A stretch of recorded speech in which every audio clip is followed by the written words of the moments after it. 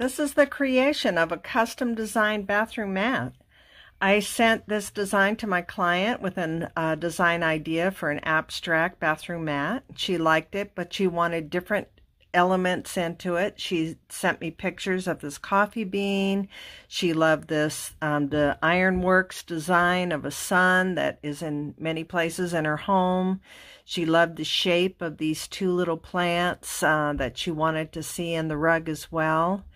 And so here I again started on the rug with the sun design and I have the other parts blocked out.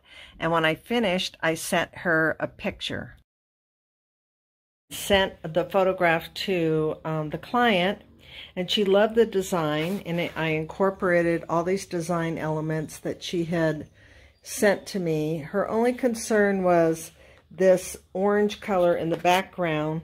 She thought it might be a little bit too bright and um, so I, I made up a word. It's called rusticar and um, what it, rustico is the Spanish word for uh, rustic.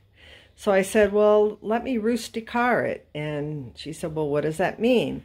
So what I'm going to do is I'm going to take this very diluted acrylic paint and I'm going to do the wash that I often do on many of my rugs. And here is the finished rug. You can see it has some shading. It kind of softened that bright orange color. And uh, here it is in the bathroom. And you can see the beautiful colors and design and how it meshes in with the bathroom, the design of the wood and the tiles around it. And here's our completed abstract bathroom mat.